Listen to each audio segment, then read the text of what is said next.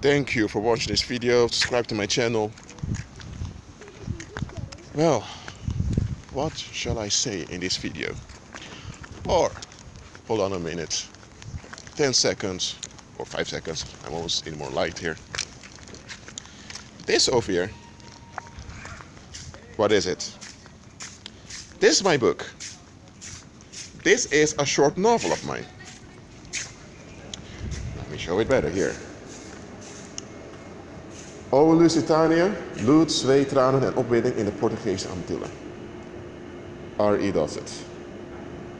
The cover art is of a British artist.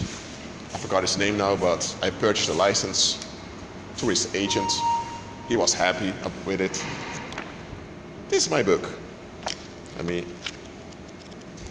it's a real story here, as you can see. It's in Dutch. It's my only publication in Dutch, by the way. The rest are all in British English. Why am I showing this? Because over, when years passed by, there were those people that longed to see me dead. They wanted me to die. They wanted me to get sick. They want all, kinds of violence to happen to me.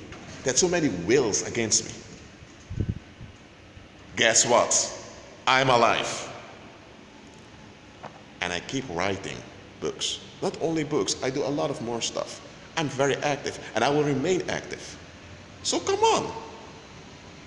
Don't you see that the power of Christ is more powerful than your witchcraft and your negative wills and all of that? But you're so pathetic, you keep holding on to that negative will instead of uh, surrendering to Christ. Look, people that hold on, to, hold on to the negative, they want you to be afraid of them. They want you to be afraid of their will. They want to be validated. Because think about it. If, if you have a, an adult hitting a kid because a kid does do what he or she wants, or if it's an adult where it's a male or female, they hit a kid because kid doesn't do what he or she wants, what's it about? They didn't have their, their will. So now they want something bad to happen to the kid so the kid will feel if you don't do my will, something bad happens to you. I'm important. It's them validating themselves by causing harm unto you. That's all what violence is about self validation. There's a difference between force and violence. If someone tries to rob you, you can use force to get yourself out of the situation. Or if you see someone's trying, someone is being kidnapped, you can use force to get that individual in safety. But violence is not force. Violence is just you using your ability to cause harm so that you are important. That's all it is. And people have been doing that to me while I was growing up. Not always physically, but they also have this will. But you know what? I'm in Christ, I've overcome. And you know what? That's why I'm so bold. That's why I'm so bold. That's why in public I make videos. That's why I don't care what people, people think. Why? Because I've endured danger. I suffered PTSD for two and a half years.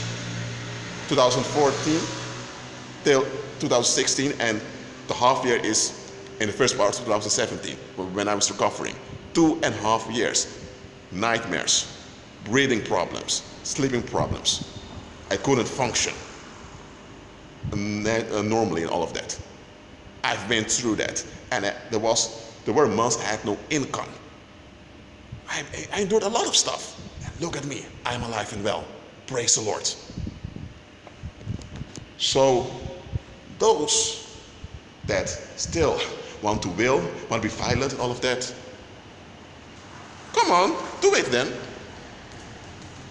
If you're so, if you're so big, why didn't you do it uh, past months when you saw me increasing and increasing? Past months when I reached over 1 million views on YouTube, why didn't you do it then? Violent people are cowards. You know what? I'm not here to challenge cowards. I'm just making plain I'm in agreement with Christ. And I'm alive and well, despite all the wills, all the violence. That's why believer overrule violence. I have trust in you because you have the Holy Spirit. So, bring it on, devil. I'm in Christ. Be at peace, believer.